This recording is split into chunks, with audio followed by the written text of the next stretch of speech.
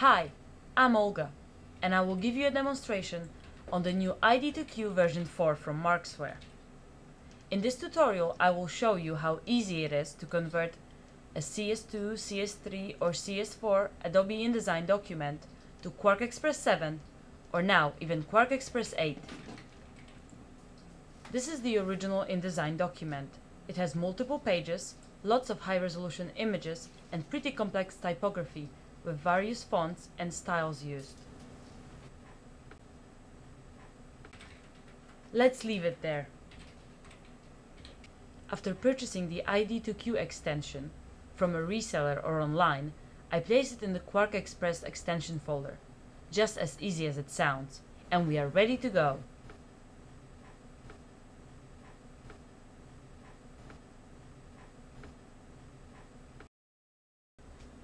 Now, the ID2Q function can be found under the Markzware pull-down menu. Select and open the InDesign document you would like to convert.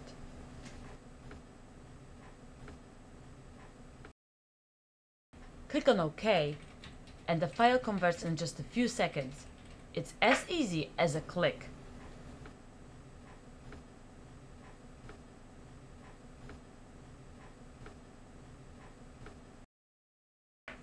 Also, please keep in mind that ID2Q is available for Macintosh or Windows, and it can even do a cross-platform conversion.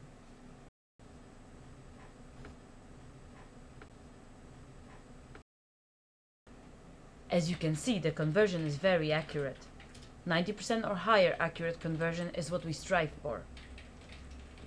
Now I can just continue in QuarkXPress 7 or 8 without having to recreate the entire document saving me a ton of time and thus money. Since I'm in Quark 8 now, it's really easy to add some cool features available in Quark, but not in InDesign.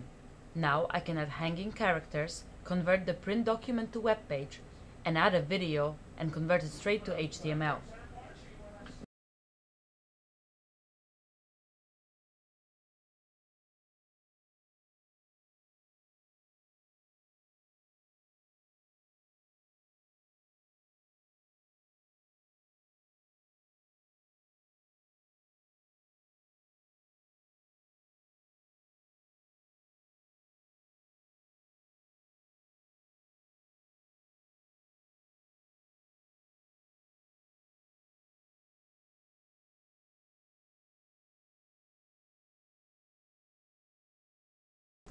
ID2Q version 4 can be purchased via local reseller or online.